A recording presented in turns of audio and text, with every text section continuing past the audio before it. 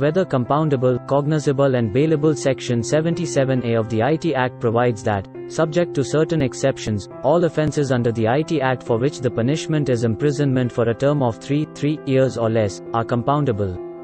The provisions of sections 265b and 265c of the Code of Criminal Procedure, 1973, CRPC, shall apply with respect to such compounding. Section 77b of the IT Act provides that notwithstanding anything contained in the CRPC, all offences punishable with imprisonment of 3, 3 years and above under the IT Act shall be cognizable and all offences punishable with imprisonment of 3, 3 years or less shall be bailable. Most of the cyber crimes covered under the IT Act are punishable with imprisonment of 3, 3 years or less. The cyber crimes which are punishable with imprisonment of more than 3, 3 years are publishing or transmitting obscene material in electronic form under Section 67 of the IT Act, publishing or transmitting of material containing sexually explicit act, etc., in electronic form under Section 67A of the IT Act, publishing or transmitting of material depicting children in sexually explicit act, etc., in electronic form under Section 67B of the IT Act, and cyber terrorism under Section 66F of the IT Act. All of the cyber crimes under the IPC are bail-able other than offences under Section 420, cheating and dishonestly inducing delivery of property, Section 468, forgery for the purpose of cheating, Section 411, dishonestly receiving stolen property, Section 378, theft, and Section 409, criminal breach of trust by public servant, or by banker, merchant or agent, which are non-bailable. Offences under sections 463 and 465, forgery, sections 425 and 426, mischief, section 468, forgery for the purpose of cheating, section 469, forgery for the purpose of harming reputation, and section 292, sale, etc., of obscene books, etc., of the IPC are non-compoundable offences while offences under sections 378 and 379, theft, 420, cheating and dishonestly inducing delivery of property, sections 425 and 426, mischief when the only loss or damage caused is loss or damage to a private person, section 509, word, gesture or act intended to insult the modesty of a woman, section 411, dishonestly receiving stolen property, and section 419, punishment for cheating by personation, of the IPC are compoundable offences. Of these, offences under sections 420 and 509 can be compounded only with the permission of the court. Most of the cyber crimes under the IPC are cognizable other than the offences under sections 425 and 426, mischief, and sections 463 and 465, forgery, which are non-cognizable. The overlap between the provisions of the IPC and the IT Act may sometimes lead to an anomalous situation wherein certain offences are bailable under the IPC and not under the IT Act and vice versa and certain offences are compoundable under the IPC and not under the IT Act and vice versa. For instance, in case of hacking and data theft, offences under sections 43 and 66 of the IT Act that are bailable and compoundable while offences under section 378 of the IPC are non-bailable and offences under section 425 of the IPC are non-compoundable.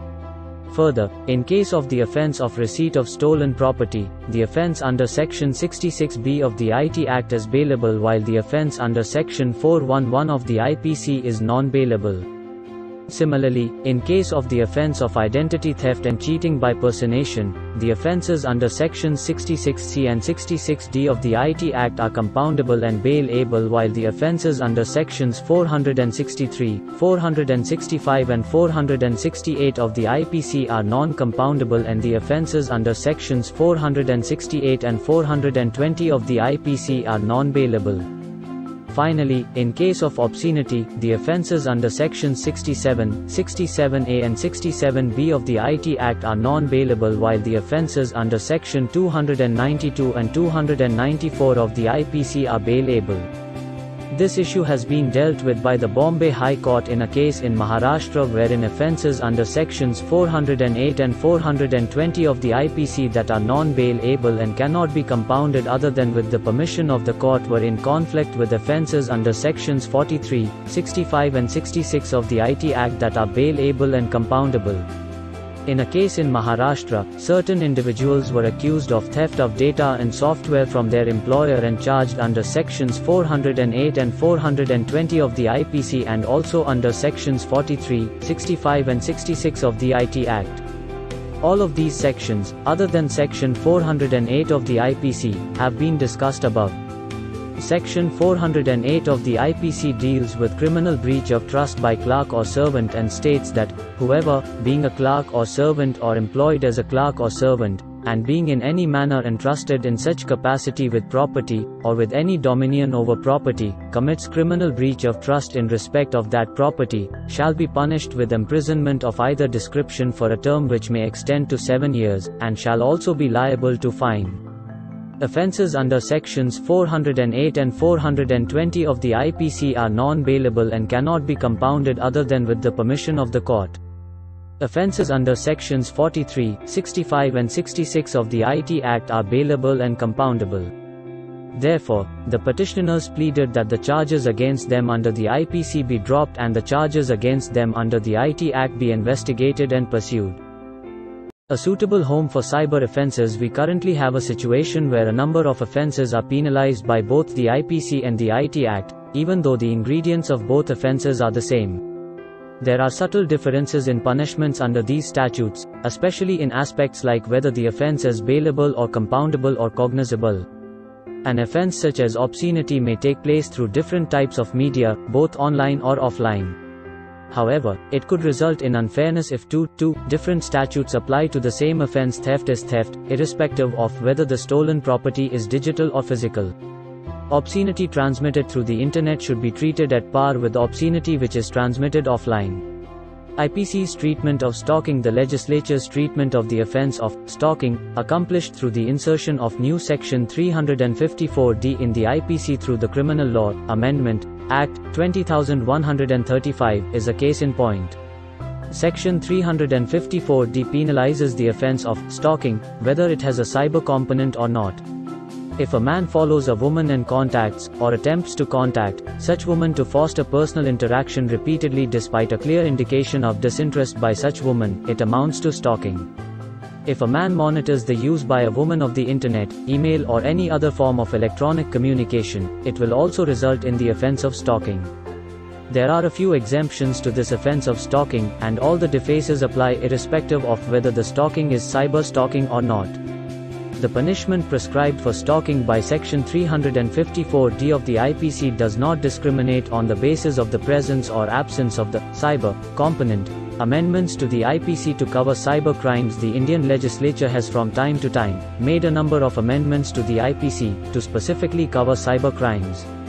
Some of the important amendments are as follows. A new section 29A was created to define electronic record by linking it with the definition given in the IT Act 6. A new subsection 3 was inserted in section 4 of the IPC relating to the extension of the IPC to extraterritorial offenses that states that the provisions of the IPC shall be applicable to any person in any place, without and beyond India, committing an offence targeting a computer resource located in India 7, in sections 118 and 119 of the IPC, that deal with the concealment of a design to commit an offence punishable with death or imprisonment for life and a public servant concealing a design to commit an offence which it is his duty to prevent, respectively, the words, voluntarily conceals by any act or omission or by the use of encryption or any other information hiding tool, the existence of a design, were inserted before the words, to commit such offence or makes any representation which he knows to be false respecting such design. 8. In section 464 of the IPC, which penalizes the making of a false document, the phrase, digital signature,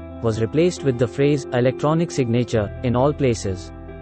The section was also amended to include the making of false electronic records and affixing electronic signatures under its ambit and the phrase, affixing electronic signature, was given the same meaning as it has under the IT Act 9. Electronic record was included within the ambit of sections 164, 172, 173, 175, 192, 204, 463, 466, 468, 469, 470, 471, 474 and 476 of the IPC that earlier only provided for documents, books, paper, writing, or records, as the case may be, in section 466 of the IPC, which deals with forgery of court records or of public registers, the term register was defined to include any list, data or record of any entries maintained in an electronic form, as defined in section 2, 1, r of the IT Act 10,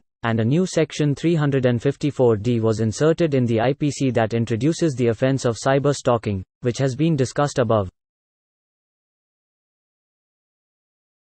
Cyberterrorism, Section 66F of the IT Act prescribes punishment for cyberterrorism. Whoever, with intent to threaten the unity, integrity, security or sovereignty of India or to strike terror in the people or any section of the people, denies or causes the denial of access to any person authorized to access a computer resource, or attempts to penetrate or access a computer resource without authorization or exceeding authorized access, or introduces or causes the introduction of any computer contaminant, and by means of such conduct causes or is likely to cause death or injuries to persons or damage to or destruction of property or disrupts or knowing that it is likely to cause damage or disruption of supplies or services essential to the life of the community or adversely affect critical information infrastructure, is guilty of cyberterrorism.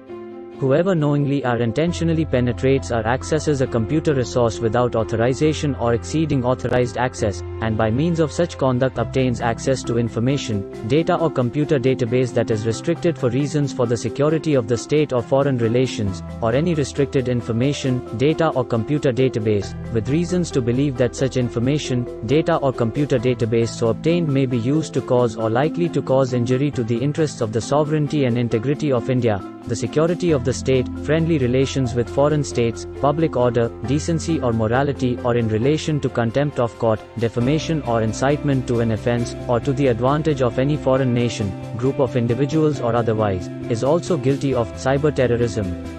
Whoever commits or conspires to commit cyber-terrorism shall be punishable with imprisonment which may extend to imprisonment for life. There is no provision in the IPC that mirrors Section 66F of the IT Act, though Section 121 of the IPC, waging, or attempting to wage war, or abetting waging of war, against the Government of India, does cover this offence partially. Thanks a lot of watching the video please feel free to give suggestion, send motivational videos for the of benefit society, raise your voice by making and sending plays, stories etc let us create awareness together. Please feel free to call us if you require any help. You can also be a part of our team or channel as a member or associate. Please call us our contact phone no at 981800399990 or on another phone no at 9540003999 or email at info.consumertimes at gmail.com. Visit our website www.consumertimes.in. Please like this video. Please like, share and subscribe our channel will motivate our team to work hard. Thank you.